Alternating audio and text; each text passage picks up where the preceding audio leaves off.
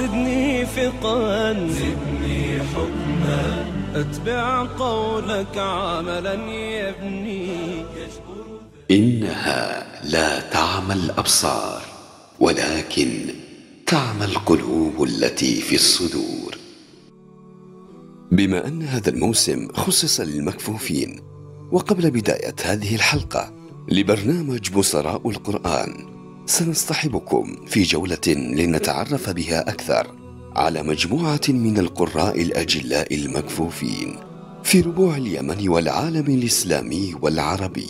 وبهذه الحلقة سنتعرف على القارئ التركي أحمد علي سيريكايا كفيف البصر شعر أهله بمكامن الإبداع الموجودة به فشجعوه وأعانوه كثيرا حتى حقق الإنجاز بحفظه للقرآن.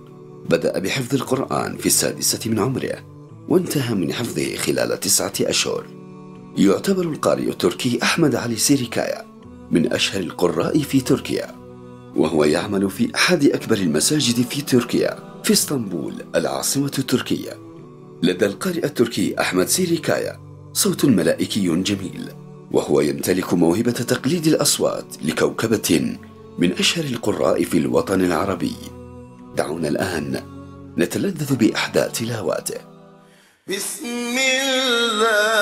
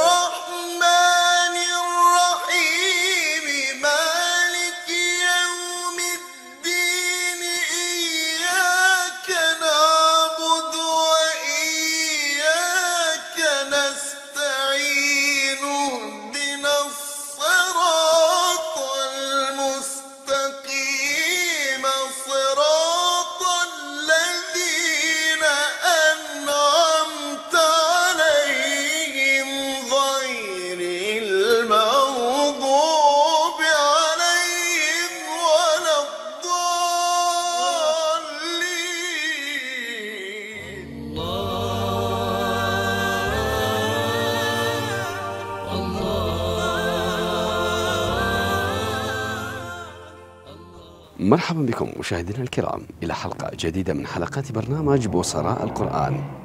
ضيف هذه الحلقة شخص استطاع أن يحفظ القرآن وأن يتجاوز كل الصعوبات والتحديات.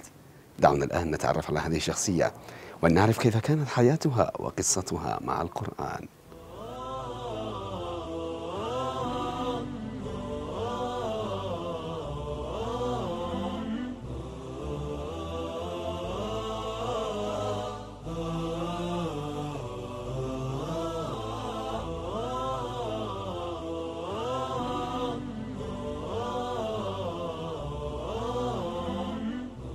مرحبا بكم مشاهدينا الكرام إلى حلقة جديدة من حلقات برنامج بصراء القرآن.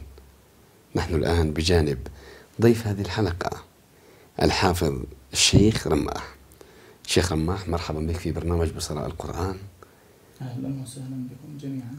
نتمنى لك السعادة دائما إن شاء الله بإذن الله في كنف القرآن. وأكيد من يعشق ويحب ويكون دائما قلبه معلقا بالقرآن حياته مختلفة. مرحبا بكم أنتم جميعا. آه، وإن شاء الله سبحانه وتعالى يكون هذا البرنامج في ميزان حسناتكم بإذن الله. رماح ناصر صالح الحفاشي حاصل على المركز الأول في الجامعة بكالوريوس تخصص علوم قرآن. الاسم رماح ناصر صالح الحفاشي. طبعا من محافظة المحويت مديرية بني سعد عزلة الشويع. آه، العمر 24 عاما خريج بكالوريوس جامعة صنعاء بمعدل 94 في المية. آه، طبعا آه، أعاني من آه، الإعاقة البصرية التي لازمتني منذ الولادة حيث يوجد لدي آه، تشوه خلقي في العينين.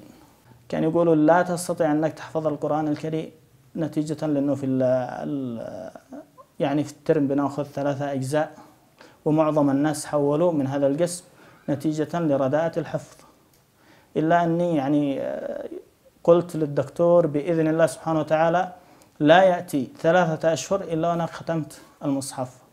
وبإذن الله وبفضل الله ختمت المصحف في ثلاثة شهور الذي جعل الحافظ رماح يتجه إلى حفظ القرآن هو المسارعة إلى نيل الأجر والثواب من الله تعالى. حفظة القرآن الكريم هم أهل الله وخاصته فأردت أن أكون من أهل الله عز وجل. هذا النقطة الأولى.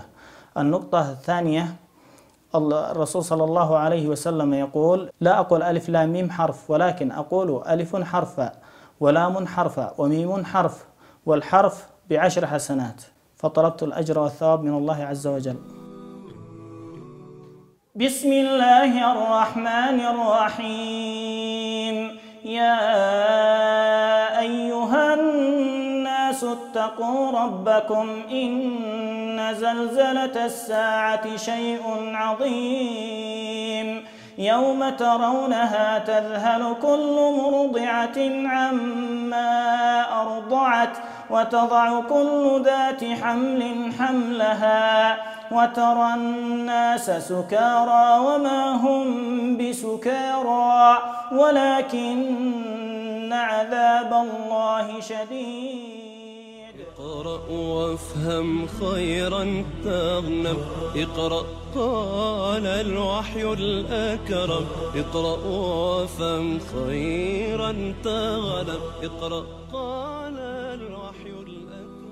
لحياة الحافظ رماح مع القرآن حياة تدبر وسعادة وحياة فيها العظة والعبرة حياتي مع القرآن الكريم حياة تدبر وتأمل في آيات الله عز وجل لما نلاقيه من حلاوة وسعادة في تدبر الآيات. حياتي مع القرآن الكريم أخذ العظة والعبرة من آياته ومن قصص الأمم السابقة التي حكاها الله لنا في كتابه العزيز. لقد عانى الحافظ رماح صعوبات متعددة نتيجة للظروف المادية وكذلك تدني المستوى التعليمي في بعض المناطق الريفية لكنه بالعزم والإصرار حقق المستحيل. أولا الظروف الأسرية والمادية نتيجة يعني الظروف الصعبة. ثانيا عانيت في حفظ القرآن الكريم. آه، اختلاف المدرسين يعني الذي درسنا عندهم. آه، تدني مستوى التعليم في الريف يعني في بعض المدارس. يعني تحصل مدرس القرآن الكريم مدرس كيمياء أو فيزياء أو أحياء. ما عندش علم في قواعد التجويد. وبالتالي النطق يكون ضعيف عند التلاميذ. النقطة الثالثة الكفيف طبعا يحتاج إلى الوسائل الصوتية التي تخدم كتاب الله عز وجل. فكانت الإمكانيات المادية عندي صعبة ما قدرت أن أشتريها. وثالث شيء أننا ما التحقت بالمكفوفين إلا بعد أن خلصت الثانوية العامة. هناك العديد من الوسائل ساهمت في مساعدة الحافظ رماح لحفظ القرآن الكريم. فمن أهم الوسائل التي ساعدته هي الوسيلة الصوتية MP3 هناك العديد من الوسائل التي ساعدتني في حفظ كتاب الله عز وجل. أولا الوسائل المعنوية. تشجيع والدي العزيز لي حفظه الله عز وجل حيث كان يحرص كل الحرص على حفظي لكتاب الله عز وجل. وقد حفظني جزء المجادلة. وواصلت بعدها أنا في عملية الحفظ واستخدمت الوسيلة من الوسائل المادية الام بي 3 من الأوقات التي يرى الحافظ رماح أنها مناسبة حفظا للقرآن هي قبل النوم ومراجعة بعد صلاة الفجر. من أفضل المواعيد لحفظ كتاب الله عز وجل. أنا بالنسبة لي شخصيا آه، كنت أحفظ قبل النوم. وبعد صلاة الفجر مباشرة أثبت ما حفظته قبل النوم أراجع. أعوذ بالله من الشيطان الرجيم. شهر رمضان الذي أنزل فيه القرآن هدى للناس وبينات من الهدى والفرقان فمن شهد منكم الشهر فليصمه ومن كان مريضا أو على سفر فعده من أيام اخر يريد الله بكم اليسر ولا يريد بكم العسر ولتكملوا العده ولتكبروا الله على ما هداكم ولعلكم تشكرون ولحفظ آيات الكتاب ها قد أتينا كل باب. نمضي على درب الصواب. من قبل أن تجلو الخطوب. من قبل أن تجلو هنالك آيات أثرت على قلب الحافظ رماح. وهنالك تأثير خاص لإحدى هذه الآيات والتي غيرت كثيرا في حياته. طبعا آية استوقفتني في سورة الزمر وهي قول الله عز وجل بعد أعوذ بالله من الشيطان الرجيم. وسيق الذين كفروا إلى جهنم زمرا حتى إذا جاءوها فتحت أبوابها وقال لهم خزنتها ألم يأتكم رسل منكم يتلون عليكم يتلون عليكم آيات ربكم وينذرونكم لقاء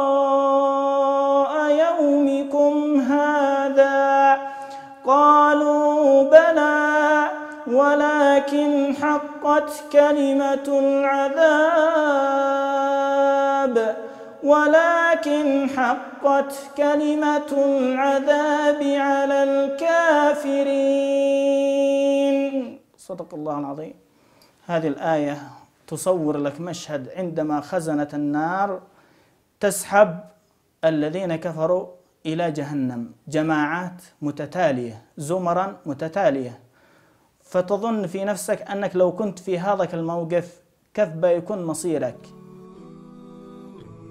لقد اكتسب الحافظ رماح العديد من الصفات والقيم والتي ساهمت في تغيير حياته إلى الأفضل. هناك صفات كثيرة استفدتها من كتاب الله عز وجل. بل هو آية وعبر. كل آية تحمل صفات. بل هناك يعني ص- سورة كاملة في القرآن الكريم يسميها المفسرون سورة الأخلاق ألا وهي سورة الحجرات. هذه السورة أول صفة تعلمنا ألا نقدم أي حكم أو أي رأي قبل أن نعرف ماذا حكم الله ورسوله فيه. من الصفات أيضا التي استفدتها من سورة الحجرات على وجه الخصوص أنه يجب علينا ألا نرفع أصواتنا فوق معلمينا أو فوق أو فوق آبائنا أو فوق أمهاتنا أو فوق من هو أكبر منا سنا.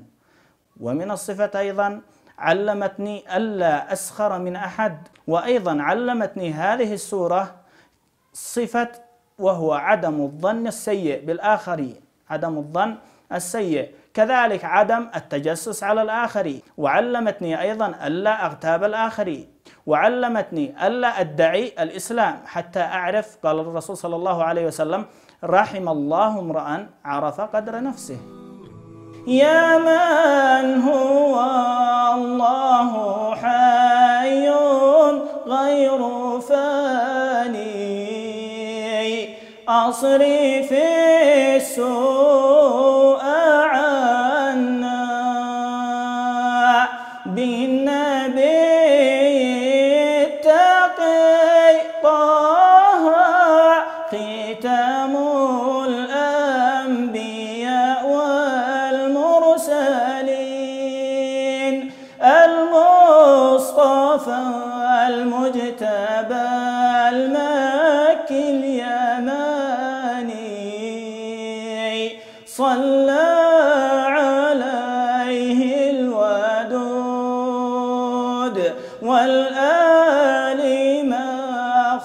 أخضر رعود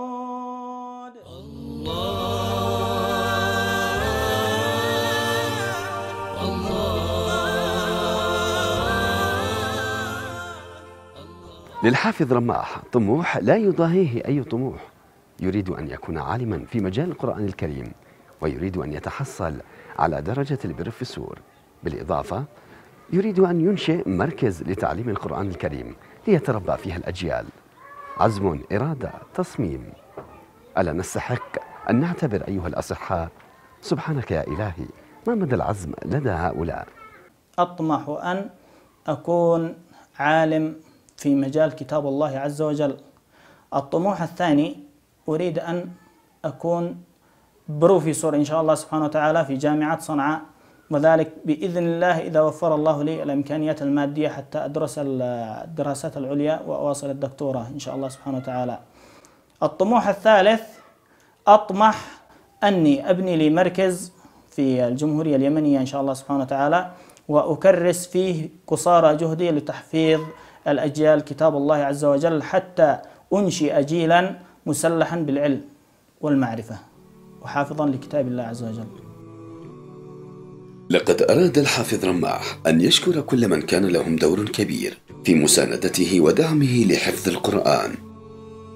الشكر الأول لوالدي العزيز الذي حرص كل الحرص على أني أحفظ كتاب, كتاب الله عز وجل. الشخص الثاني هو جدي إبراهيم المحيا أيضا هناك شخص ثالث لا أنساه بل ساعدني في الجانب التعليمي في المواد الأخرى غير القرآن الكريم ألا وهو عمي علي علوان فأشكر هؤلاء الأشخاص من كل أعماق قلبي.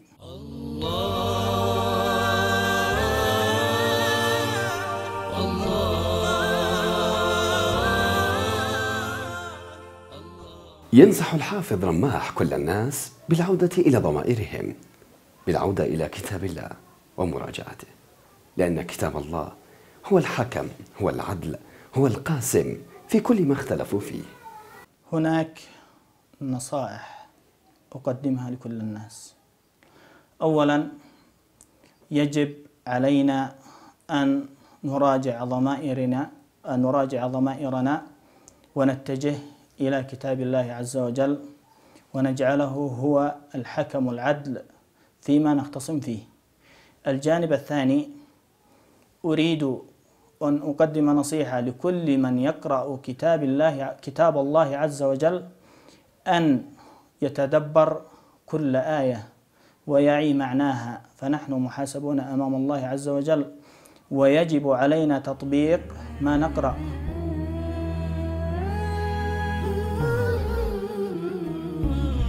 أمل يملأ قلبي وصدق إيماني بربي.